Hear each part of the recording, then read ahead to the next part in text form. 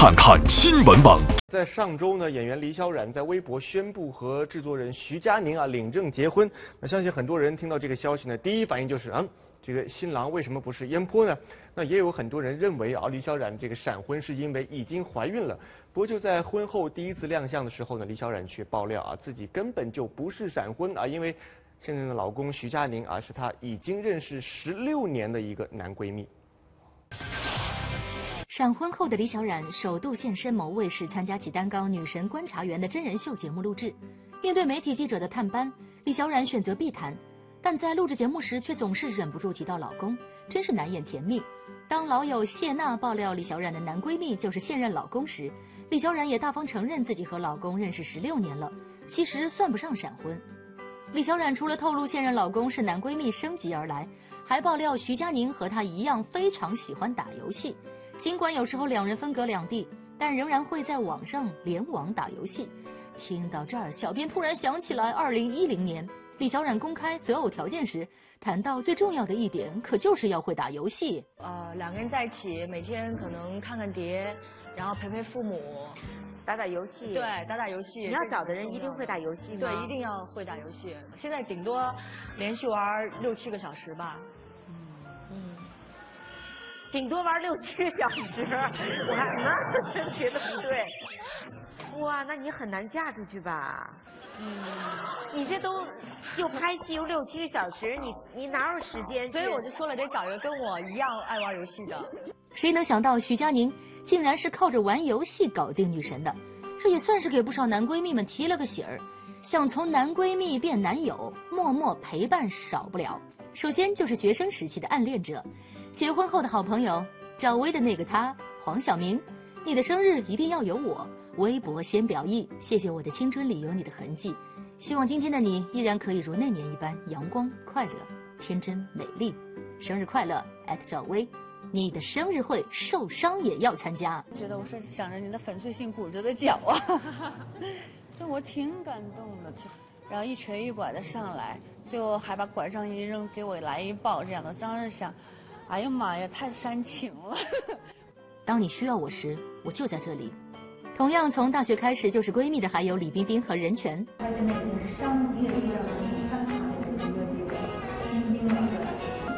找女朋友的条件是什么？因为之前在像我一样。如今已经四十一岁的李冰冰身边始终没有白马王子，另一位男闺蜜孙红雷也急坏了。我只要一看见李冰冰，我就不想活。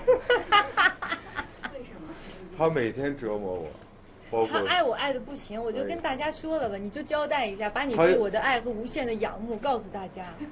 你是不是后悔了和你女朋友？他每天打我，然后这个每天欺负我。他还得请我吃饭。每天的中午饭、晚饭，只要是要工作开工的话，我都要请他吃。然后所有他所有的这个压力都会放在我身上。连找男朋友的压力都放在我身上。其实，如果任泉和李冰冰走到一起，绝对是观众们喜闻乐见的。二零零九年，任泉开始转投幕后，并开办了任泉工作室，主要从事起了影视作品的发行和投资工作。闲暇之余，他还会帮李冰冰打理房产。据任泉透露，李冰冰的所有房产中有近百分之八十都是由他做的参谋，近一半都是他为李冰冰做的决定。而在此期间，两人曾协商过，要不就这么凑合着过了。当时说过，呃，几次开玩笑说。所以你现在故意不找女朋友？呃，就是也没有故意不找，就是有的时候说，哎，你最近什么情况啊？不行，还是没有情况。然后你最近什么情况？明年没情况，要不咱俩就算了吧，凑合凑合就得了。其实凑合过这样的玩笑，在圈内还真是不少。很多年前，谢霆锋曾经和容祖儿约定，三十五岁时如果都还单身，那就一起过。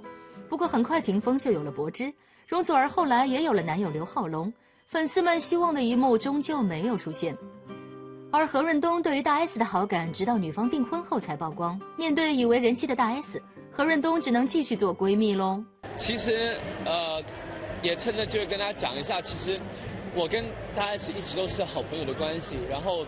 其实从好几年前我就跟大家讲说我很欣赏他，那欣赏不代表说要拥有，欣赏真的是纯粹欣赏。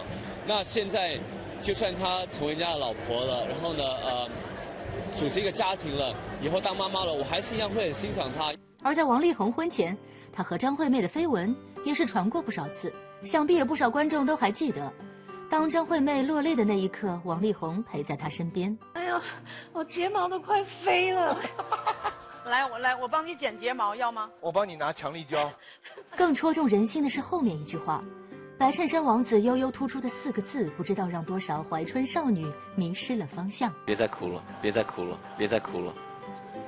实在安慰不了白马王子，干脆陪着一起流泪。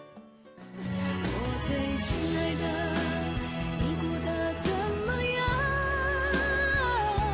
这样的男闺蜜，苏打绿主唱吴青峰也绝对算上一个。他分别是 ella 和韵诗、杨丞琳的男闺蜜。何韵诗甚至还把清风当做下一代形象的完美模板。真的想要生孩子的话，那我觉得就是，呃，男生那方面就是起码要有智慧，然后也呃有起码的一个美貌。新闻在线编辑报道。